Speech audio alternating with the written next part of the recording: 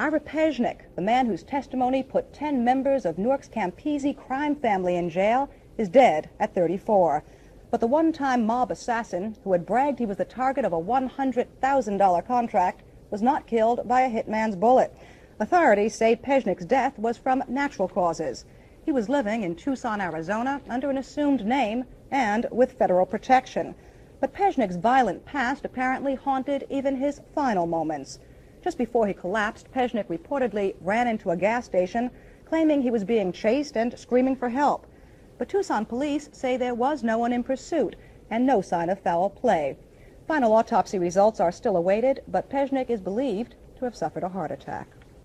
After almost a year, an alleged South Jersey mobster is back in the state to face contempt charges. Carl Ippolito is an alleged member of the Angelo Bruno crime family in the Philadelphia, South Jersey area. He was indicted last June for failing to appear before the State Commission of Investigation.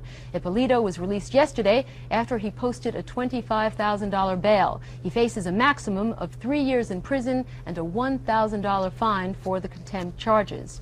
Camden Mayor Angelo Errichetti was warned of a mob contract on his life just one day after the execution of Philadelphia crime boss Angelo Bruno. That report from a copyrighted story in today's Camden Courier Post, which says the contract was ordered by New York mafia bosses, the same men who allegedly ordered the hit on Bruno. Officially, there are no suspects in Bruno's killing, and Errichetti is refusing any comment on the story. But aides close to the mayor call the story part of an effort by the FBI to stampede Errichetti into protective custody in return for information the FBI believes the mayor has on organized crime figures and Atlantic City. The FBI is looking into published reports that a company operating out of the Military Ocean Terminal in Bayonne is a front for organized crime. According to a series of articles in the New York Daily News, Consolidated Pier Deliveries Incorporated leased a 33-acre site at the Marine Terminal in 1981 and turned it into a base for organized crime activities.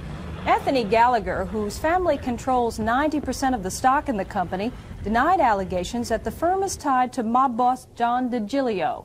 Gallagher said he cooperated with FBI and Internal Revenue Service agents when they raided his offices in May of last year.